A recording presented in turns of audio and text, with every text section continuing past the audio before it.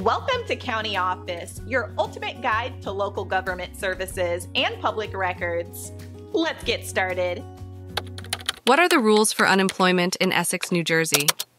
Unemployment benefits serve as a financial bridge for individuals who find themselves without a job through no fault of their own.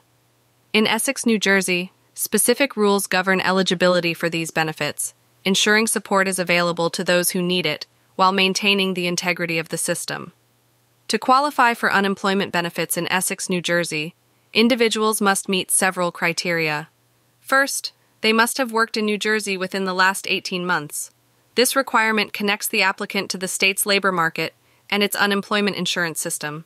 Applicants must also have lost their job for reasons beyond their control, such as layoffs due to economic downturns or business closures.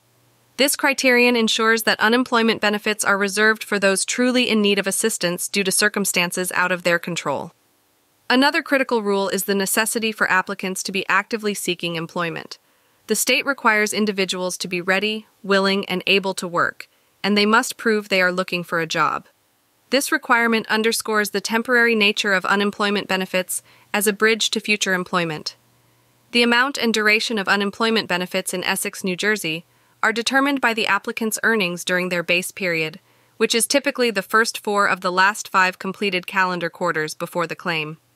This calculation ensures benefits are proportionate to the applicant's previous income, providing a reasonable level of support. Applicants must also register for work with the New Jersey Department of Labor and Workforce Development and keep a record of their job search activities.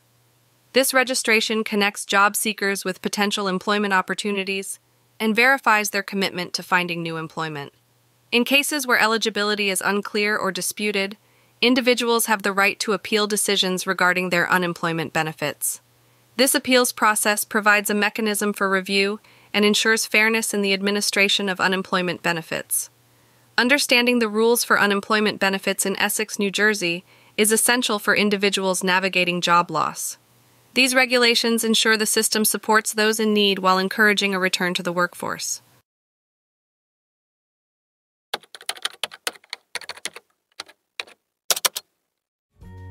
To learn more, check out these links, which you can click in the description below. And feel free to comment your questions. We're here to help. Thanks for tuning into our video. Please like and subscribe and leave a comment below. See you in the next video.